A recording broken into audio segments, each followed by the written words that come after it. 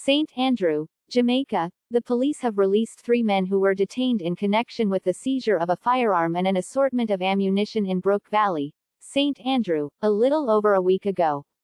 The men were released without charge following further investigations into the gun find by the police.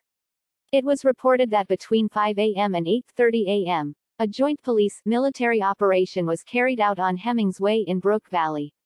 During the operation, the police searched several premises. It was at one of these premises that the gun and ammunition were found.